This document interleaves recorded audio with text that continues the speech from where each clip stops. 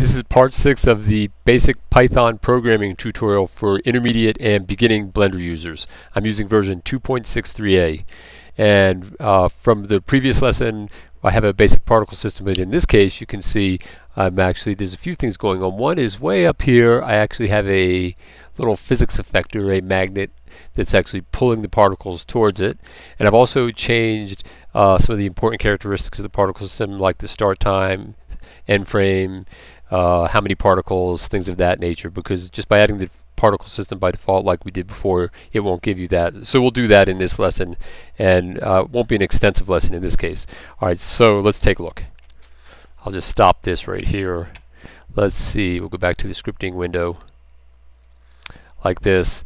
Uh, one of the things I had done was I did add the uh, I did add globals to the rest of the colors up here like this and I've added let's see what else I did. Just some simple things just some basic things. Uh, oh yeah here's the particle system stuff that you need to know about. Oh and this is an important point.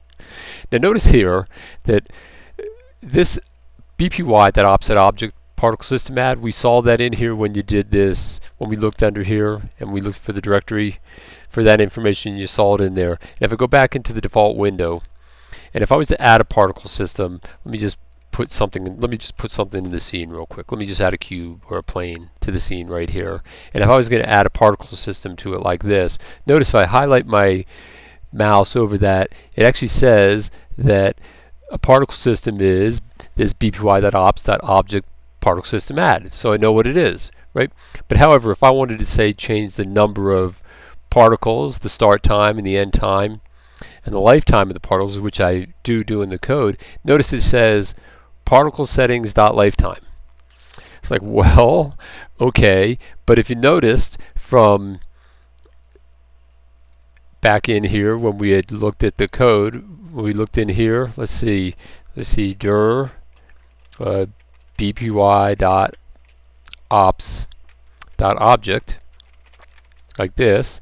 Well, there was particle system, particle system add, particle system removed, but I didn't see anything about you know lifetime things like that, particle settings, something like that. And here's the critical things you need to know for starting. Here's your uh, if you well here, you know here's the uh, let's go back to the default window for new users. Here's your start this would be your start frame and that's your end frame and this is your lifetime of your particles and that would be the default in here if you set it and then uh, let's get rid of this particle. Let's get rid of this object here. Let's take a look at one of these down here. Now notice this is called fountain.127 it has a thousand particles. I set that I didn't set that. That's default. But see the start frame is different. It's at 25 ends at 100 it has a lifetime of 150 particles. Alright and so if you look back in the code that's exactly what I said. I set the start frame, frame underscore start 25, frame underscore end 100, and the lifetime 150. Here's optionally you can set if you want to have hair particles versus the emitter. You can use that as well. I tried that. That does work. And here's where I named fountain, and it appended the dot 001, 002 for each additional instance of the object that got placed with the name fountain. And then the normal factor. The normal is the rate at which the particles emit from the face in a perpendicular direction. That's a mathematical term. All right. So, and then the other thing was the, um, let's see if you can see it in here. Look down here, right here. I added an empty to the scene. And then from the empty, I had gone over to the physics button and I added a, this magnetic force field like this. Or so I'll just show you again. I'll just turn it off. I added the force field and I went up here and I picked magnetic. And that's all I had done. So now when the particles, otherwise they would go straight up. In fact, let's actually let's just turn it off and see what happens. I'll turn it off and you'll see that the particles, when they cycle around for the next run, it would be like a fountain. They just run straight up, following the normal of the plane. And then when I add, so you can experiment with these force fields all you want and add whatever you want. Let's put we could put a vortex in there. It'll immediately start spinning it because the force field's up there.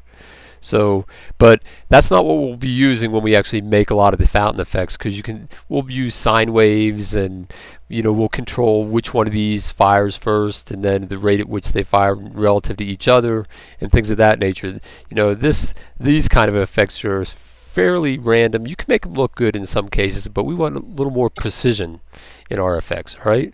So, let's see, let's go back to the uh, magnetic effect. It's okay and we go back to the scripting and then let me see did I add anything else to the code in this case uh, the only other thing I did I commented out our our conditional statement from the previous lesson alright well I just wanted to set that up for you just let you take a look at this code because for those of you who are familiar with Blender this is pretty much all you need to get started because then you can start adding in your own uh, features to that and there's enough for you to just go running with it at this point but we'll continue it within the with the next lesson, and we'll start uh, doing more mathematics and uh, more features as well. All right, and I'll see you then.